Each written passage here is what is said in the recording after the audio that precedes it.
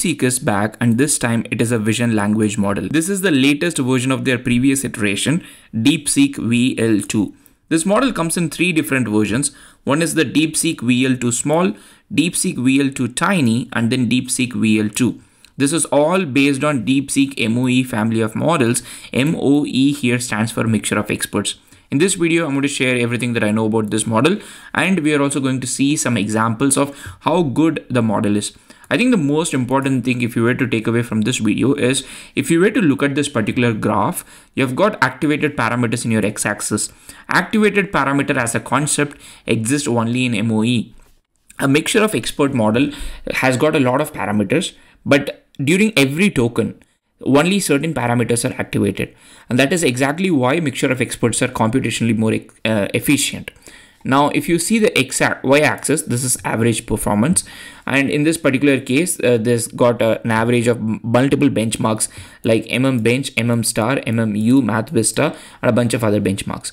Now, if you see a 1 billion parameter model, which in this case is DeepSeek VL2 Tiny, so DeepSeek VL2 Tiny is a 1 billion parameter active parameter model and DeepSeek Small VL2 Small is a 2.8 billion and DeepSeek VL2 is 4.5 billion activated parameters.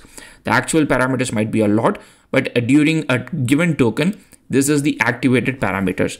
So for a 1 billion activated parameter model, you can see that DeepSeek VL2 Tiny exceeds or also almost on par with a 2 billion parameter model, which is again from a really good um, AI lab, which is Qwen 2.2.0 in this particular case. So bottom line here is that this is a really good model, a strong model. Uh, the capability of the model is on multiple different um, domains like OCR, visual grounding and other things. Now, if you are not familiar with VLM as a concept, VLM stands for vision language model. So you have got a vision component and then you have got a language component. Uh, so you can give image as an input and text as an input and it gives you text as an output. So this is slightly different from what we saw with the unified model, which is Janus. So with Janus, this is again from DeepSeek, it's a unified model. So it means only one model exists and then that takes image and text input. It can output text and also image. Unlike that model, DeepSeek VL2 in this particular case is not a unified model. In fact, it's a very proper vision language model. That means there is a vision component and then there is a language component. So simply, this is the overview of DeepSeek VL2 model. So if you see, it's got a very LLaVA style architecture, which we have covered long time ago on this channel. So it's got a visual encoder. So anytime you upload an image, it goes through a dynamic tiling process. What's the dynamic tiling process? You have to somehow split the image into multiple pieces. And that is exactly how it gets split here. So this is the dynamic styling pro tiling process that goes into a vision encoder and from there it goes into a vision language adapter and from that it gets split into image tokens. And now is the prompt that you given. So for example you can upload the image and then say describe this image in detail. So now you have got the image tokens now you have got the text tokens all of these go into the DeepSeek MOE, the mixture of expert model. And finally, auto-regressively, it starts generating what it gets. So image and text input and text output. So this is in simple, the architecture of DeepSeek VL2. The good thing about DeepSeek VL2, like I said, that these are small, tiny models. I mean, it's literally called tiny and small models for 1 billion parameter and 2.8 billion parameter and 4.5 billion parameter model. So given that this is a small model, it can be really helpful in a lot of different uh, cases where you cannot have internet. So if you want to prompt GPT-4o, Gemini are these kind of really, let's say, state of the art model, and you don't have internet. And so these models would play a really tremendous role in those things. For example, you've got a manufacturing unit and you want to identify the items that are faulty or not faulty. So you can use a model like this, especially given that this is an open model, you can probably fine tune it. Right now, there is not an easy way to fine tune this, but probably in the future, you would be able to fine tune this model and then start using it. You should be able to use it in the edge devices. Uh, like really good quality edge devices and a lot of other good use cases exist only because this model exists in this particular case. The only catch here is that i would say unlike other deepseek models this model comes with a deepseek model license. So even though they say it is a commercial use this is not like an apache 2.0 or mit license uh, like completely a very clearly visible open source license. But if you just like leave that aside for a moment this model has really good benchmarks. It does a lot of things good. And it's not just a simple image captioning model. That's one thing that i wanted to highlight with this model. This model has got a really tremendous ocr capabilities. Ocr stands for optical character recognition. So if you've got an image and then you've got text this model can read it really well. So for example there are multiple benchmarks across like doc vqa chart vqa info vqa so these benchmarks try to understand how good the model is in terms of ocr optical character recognition. And now if you were to see this for example if you take gemini 1.5 pro which i consider to be a really good multimodal model on doc vqa this model has scored 93.1 and just this tiny model it's it's a 1 billion parameter model not even the, like gemini 1.5 pro and this 1 billion parameter model or 1 billion active parameter model has scored 88.9 now imagine like the kind of environment you would want like a very small model lesser compute faster inference low latency. And this model could make a huge difference in those kind of situations. The deepseek vl2 small model has scored 92.3 which is almost on par with the gpt-4o and uh, slightly below gemini 1.5 pro. So these models are extremely good for OCR, optical character recognition.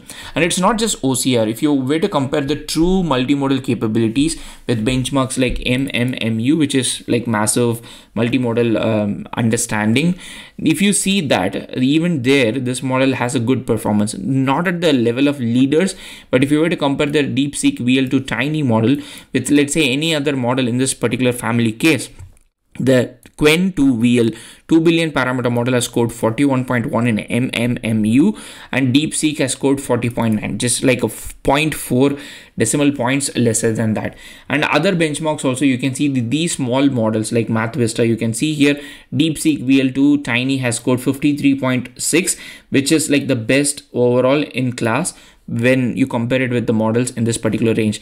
Overall, I would say DeepSeek models are extremely good. Generally, we know the DeepSeek models are extremely good and this vision language model, I don't think this is any short of our expectation. Even though I have to create a separate tutorial to run the model on your own uh, let's say cloud environment i don't think you can easily run it on local machine. But if you are interested in me putting together a tutorial for that please let me know in the comment section. The model is really good for a lot of different visual tasks. Like i said it's not just ocr it's not just like upload an image and ask a question uh, for you to let's say caption the image the model has good meme understanding which is something that a lot of people use to test gpt-4o kind of models. So if you upload a meme and then ask it okay what is the what does this image imply? Then it says okay the image humorously depicts the contrasting thoughts of a phd student. It gives like different this illustrates the common experience of phd students who often find it difficult to fully disconnect from their research. Upload another meme and then say explain this meme to me believe it or not i use uh, these kind of gpt-4o kind of tools a lot uh, to understand memes because my meme understanding is quite bad. So after you upload this image it kind of gives you the understanding. This image humorously captures the playful defiance of the childhood using a visual of a child taking a bite of an untouchable cake to amplify humor and relatability. So this model is extremely good for meme understanding and the model is also good uh, for a multi-image conversation. Like you can have multiple images and then ask it to do something. For example, you've got a refrigerator, there are 10 pictures in the refrigerator, and you want to ask what kind of things that I can make with you, make with these items, make with these ingredients, the model can answer. So you can upload these images and you can say, what would be a good drink to pair with my meal? It can answer. And it is bilingual, um, English and also Chinese the model again the advantage of using a vision language model is uh, to upload an image and then have the language component discussion like you can say okay can you help me write a short travel story based on the photos the most important thing that honestly like i found this model is to be quite good at is this model can also do bounding boxes. So generally a vision language model would just you know you can have the conversation but in this case the model can do bounding boxes. So you can upload a model sorry upload an image and then ask the model to do bounding boxes like do object recognition. Like you can say find all the watermelon slices. It will find the watermelon slices. You can say locate the space needle in the given image. It locates the space needle. Identify albert einstein in the picture it identifies Albert Einstein. And not just that, it also works very well for web UI and screenshots. So if you have got a screenshot and then ask it to do something, okay, find action games, it finds action games. And if you say pinpoint notifications in the image with its coordinates, it pinpoints the notification. So you might think it just uses the text, but only if it uses the text, it should highly highlight only the action games here, but it highlights everything. So I've got a small demo here, which is uh, from um, uh, Hugging Face Spaces. You can upload a picture here and then say, okay, select search text field. And as you can see here, it highlights the search text field. This is not an entirely new model. The model demo has complete come, come out new. The model has been available for quite some time. And this is a newer version of the existing DeepSeek VL model. If you have any question, let me know in the comment section. Otherwise, see you in another video. Happy prompting.